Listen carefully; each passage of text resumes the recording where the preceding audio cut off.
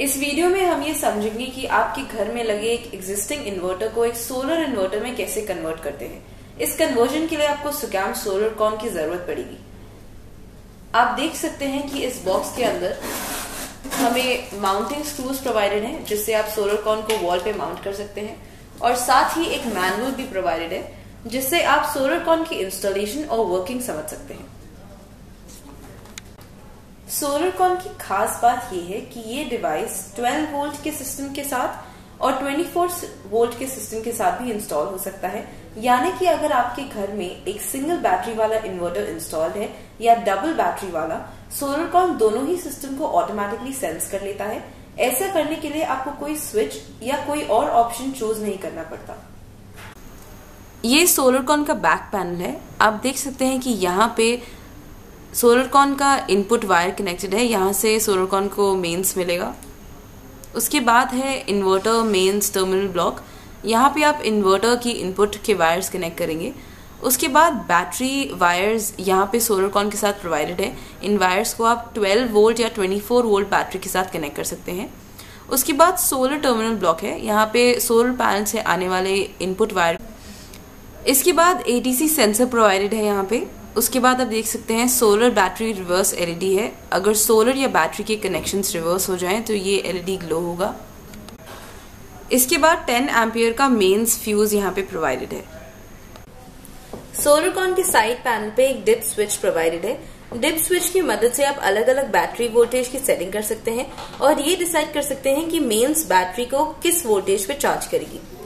आप यहाँ पे देख सकते हैं कि अलग अलग बैटरी वोल्टेजेस प्रोवाइडेड है। अगर आप 11.4 वोल्ट की सेटिंग करते हैं तो स्विच नंबर फाइव और सिक्स को आप हाई पे रखेंगे।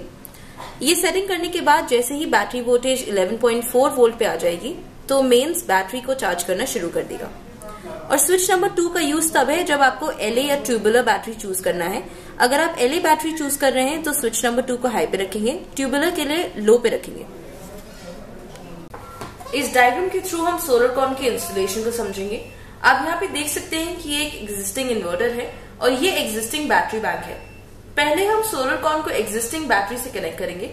उसके बाद हम मेन्स इनपुट को सोलर कॉन से कनेक्ट करेंगे। उसके बाद हम इन्वर्टर के मेन्स को सोलर कॉन से कनेक्ट करेंगे। इसके बाद हम सोलर पैनल्स को सोलर कॉन से कनेक्ट करेंगे और फाइनली हमारा इंस्टॉलेशन खत्म हो जाएगा और यहाँ पे लोड जो कि पहले ही कनेक्टेड है इन्वर्टर के आउटपुट पे। अगर आपके घर में एक नॉर्मल इन्वर्टर इंस्टॉल्ड है, जिसकी रेटिंग 1000 वी से ज़्यादा नहीं है और 12 वोल्ट का सिस्टम है, और आप चाहते हैं कि ये इन्वर्टर सोलर कंपैटिबल बन जाए, और साथ ही आप एक नया इन्वर्टर नहीं खरीदना चाहते तो आप सोलर कॉन इस इन्वर्टर के साथ कनेक्ट कर सकते हैं, और इस इन्वर्टर को एक सोलर इन्वर्टर में बदल सकते हैं। सोलर कॉन की इंस्टॉलेशन से पहले हम एग्जिस्टिंग इन्वर्टर के आउटपुट को ऑफ़ करेंगे, उसके बाद मेंस को ऑफ़ करेंगे और उसके बाद 12 और 13 नंबर के स्पैनर के साथ बैटरी को डिस्कनेक्ट करेंगे।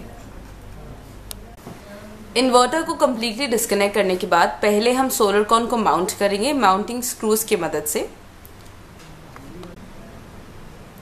अब हम इन्वर्टर और सोलर कॉन को सेम एग्जिस्टिंग बैटरी से कनेक्ट करेंगे, जिसके लिए हम इन्वर्टर और सोलर कॉन के नेगेटिव वायर को बैटरी के नेगेटिव टर्मिनल पे कनेक्ट करेंगे।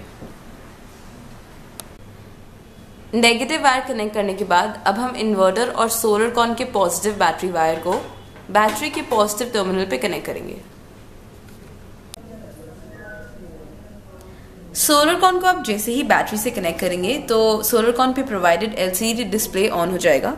आप देख सकते हैं डिस्प्ले ऑन हो चुका है और इस पर आप अलग अलग पैरामीटर्स देख सकते हैं।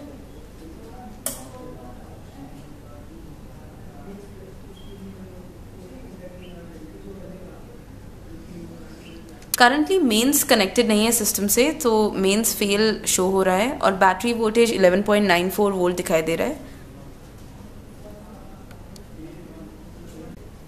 सोलर कॉन को बैटरी से कनेक्ट करने के बाद हम सेविंग्स रुपीस की सेटिंग करेंगे, जिसके लिए हम पहले एंटर को प्रेस करेंगे। जैसे आप देख सकते हैं पैरामीटर सेट का डिस्प्ले मैसेज आ गया है। इसके बाद हम फिर से एंटर को प्रेस करेंगे। एंटर प्रेस करने के बाद रीसेट रुपीज़ का ऑप्शन आएगा। उसके बाद हम फिर से एंटर को प्रेस करेंगे। एंटर प्रेस करने के बाद रीसेट डन का ऑप्शन आएगा। फिर हम एग्जिट को प्रेस करेंगे।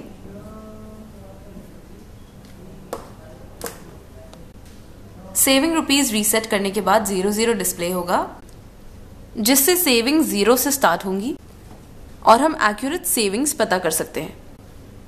इस कंडीशन में मेन सिस्टम के साथ कनेक्टेड नहीं है तो मेन्स फेल शो हो रहा है। बैटरी वोल्टेज 12.16 वोल्ट दिखाई दे रहा है। सोलर करंटली सिस्टम के साथ कनेक्टेड नहीं है तो solar charge off display show हो रहा है। पीवी वोल्टेज ज़ीरो डिस्प्ले हो रहा है। अगर बाय चांस बैटरी के रिवर्स कनेक्शन हो जाए तो सोलर कॉन में provided battery reverse LED glow हो जाएगा, जिससे आपको ये पता लग जाएगा कि बैटरी के कनेक्शंस रिवर्स्ड है, और ये तब तक ग्लो करता रहेगा जब तक आप बैटरी की कनेक्शंस ठीक नहीं कर लेते, यानी कि पॉजिटिव वायर को पॉजिटिव टर्मिनल से और नेगेटिव वायर को नेगेटिव टर्मिनल से कनेक्ट नहीं कर लेते। अब हम इन्वर्टर के मेन्स को सोलर कॉन से कनेक्ट करेंगे। जिसके लिए हम इन्वर्टर के मेन्स वायर को सोलर कॉन में provided inverter mains terminal block पे कनेक्ट करेंगे। जैसे आप देख सकते हैं, हमने इन्वर्टर के मेन्स को सोलर कॉन पे provided inverter mains terminal block पे कनेक्ट कर दिया है। रेड वायर को हमने लाइन पे कनेक्ट किया है ब्लैक को न्यूट्रल पे और ग्रीन को हमने अर्थ पे कनेक्ट किया है। अब हम सोलर कॉन के सोलर कनेक्शन समझेंगे। सोलर कॉन जिसे हमने 12 वोल्ट के इन्वर्टर और 12 वोल्ट की बैटरी के साथ कनेक्ट किया हुआ है, उसके साथ हम मैक्सिमम 360 वॉट के पैनल्स कनेक्ट कर सकते हैं। यहाँ पे आप देख सकते हैं हमने एक 12 वोल्ट की बैटरी के साथ सोलर कॉन को कनेक्ट किया हुआ है। 360 वॉट बनाने के लिए हमने तीन सोलर पैनल्स का यूज़ किया है 120 वॉट 12 वोल्ट ईच इन तीनों पैनल्स को हम पैरल में कनेक्ट करेंगे और उसके बाद हम आउटपुट को जंक्शन बॉक्स में कनेक्ट कर देंगे। जंक्शन बॉक्स से हम पॉजिटिव और नेगेटिव वायर को सोलर कॉन में कनेक्ट करेंगे। इनपुट कनेक्शन के अकॉर्डिंग हम जंक्शन बॉक्स की सिलेक्शन करेंगे। जैसे कि आप यहाँ पे देख सकते हैं सिक्स इनपुट कनेक्शन है। तो हम सिक्स इनपुट कनेक्शन की जंक्शन बॉक्स सिलेक्ट करेंगे। जैसे कि आप देख सकते हैं, ये सुकैम का जंक्शन बॉक्स है। इसमें दो पॉइंट है इनपुट पॉइंट और आउटपुट पॉइंट सोलर पैनल से आने वाला पॉजिटिव और नेगेटिव वायर हम इनपुट पॉइंट पे कनेक्ट करेंगे। आउटपुट पॉइंट से आने वाले वायर्स को हम सिस्टम के पीवी टर्मिनल ब्लॉक पे कनेक्ट करेंगे। जैसे कि आप देख सकते हैं, ये जंक्शन बॉक्स का इंटरनल स्ट्रक्चर है। यहाँ पे एक टर्मिनल ब्लॉक प्रोवाइडेड है और टर्मिनल ब्लॉक के पहले टर्मिनल पे हम सोलर पैनल से आने वाला पॉजिटिव वायर कनेक्ट करेंगे। इसके नीचे वाले टर्मिनल से हम वायर को डायोड में कनेक्ट करेंगे। डायोड से हम एक और वायर लेंगे और दूसरे टर्मिनल पे कनेक्ट कर देंगे। उसके नीचे वाले टर्मिनल से हम सिस्टम पे जाने वाला पॉजिटिव वायर कनेक्ट करेंगे। उसके बाद वाला जो टर्मिनल है, उस पर हम अर्थ का वायर कनेक्ट करेंगे। उसके बाद हम common negative wire next terminal पे कनेक्ट करेंगे, जो कि सोलर पैनल से आने वाला नेगेटिव वायर है और सिस्टम पे जाने वाला नेगेटिव वायर इसके अलावा हमने हाई वोल्टेज प्रोटेक्शन के लिए एमओवीज भी प्रोवाइड किए हुए हैं। एमओवी का मतलब है मेटल ऑक्साइड वेरिएस्टर यहाँ पे हमने डायोड इसलिए कनेक्ट किया हुआ है क्योंकि डायोड की वजह से सोलर पैनल से आने वाला करंट फॉरवर्ड डायरेक्शन में ही फ्लो करता है और रिवर्स डायरेक्शन में फ्लो नहीं करता। अब हम सोलर पैनल से आने वाली वायर्स को सोलर कॉन में प्रोवाइडेड सोलर टर्मिनल ब्लॉक पे कनेक्ट करेंगे।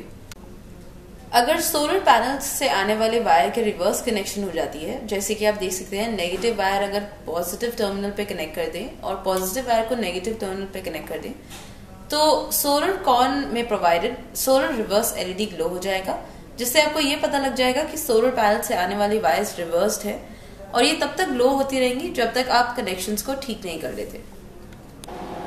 जैसे ही सोलर कनेक्ट होगा सोलर चार्ज ऑन डिस्प्ले पे शो होगा।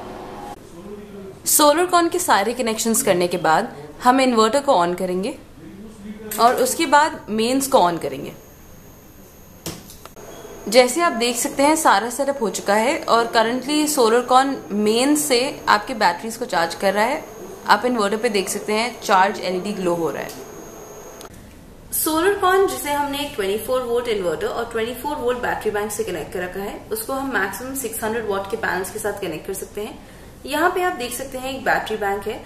24 वोल्ट का हमने दो बैटरी सीरीज़ में कनेक्ट किया हुआ है, जो कि सोलर कॉन से कनेक्टेड है। 600 वॉट बनाने के लिए हमने चार पैनल्स यहाँ पे लिए हुए हैं। 150 वॉट 12 वोल्ट ईच दो पैनल्स को हम सीरीज़ में कनेक्ट करेंगे और बाकी दो पैनल्स को भी सीरीज़ में कनेक्ट करेंगे और फिर दोनों एरेज को हम पैरल में कनेक्ट करेंगे। कनेक्ट करने के बाद हम जंक्शन बॉक्स में कनेक्ट कर देंगे और जंक्शन बॉक्स से पॉजिटिव और नेगेटिव वायर को हम सोलर कॉन में अटैच करेंगे।